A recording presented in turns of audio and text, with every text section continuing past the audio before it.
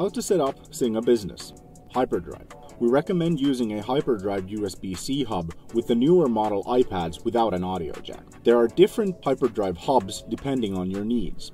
We are using a Hyperdrive 9-in-1 USB-C hub as an example. It's important that the Hyperdrive USB-C hub has both an HDMI port and a 3.5mm audio jack. First, connect the Hyperdrive hub to your iPad's charging port.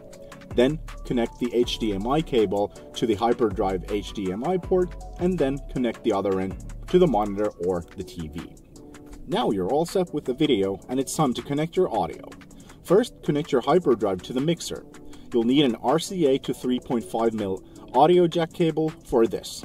Connect the RCA end to the mixer like this, and then connect the 3.5mm audio jack to the Hyperdrive hub.